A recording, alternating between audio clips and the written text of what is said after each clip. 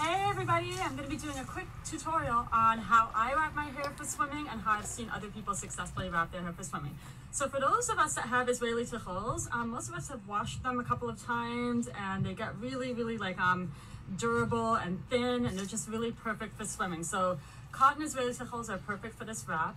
I just, I usually tie my hair um, down low because I like to wear a sun hat or visor. I know it's a bit, you know, some people say it's a bit nerdy, but I prefer to sun off my face.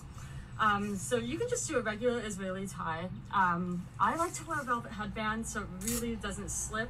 Again, the ones that I've washed a gazillion times and maybe lost a bit of their grip and they're not so new anymore. This is what I do also when I run. Um, so fold into a triangle as per usual, put on your head. Um, and then I just, I like to get the tails out of the way, but also do something cute. So you can tie it once, like this at the back.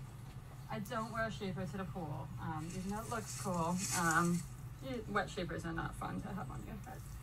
Um, and then tuck it inside. And then with these two tails, I, it's not really good to have these tails hanging out when you're swimming because they might get in your way, hopefully would not become a hazard. But um, I like to just tie them in a bow on the side. Um, let's see how my bow skills are doing right now. Somewhat successful. So yeah, just like in a, in a bow to keep to the side. A lot of people also do turban style just to keep it out of your face. And this, I mean, it stayed on my head for diving and I'm um, really actually, I mean, I don't do extreme swimming, but um, I don't even know what extreme swimming is, but that's what I do. Bye.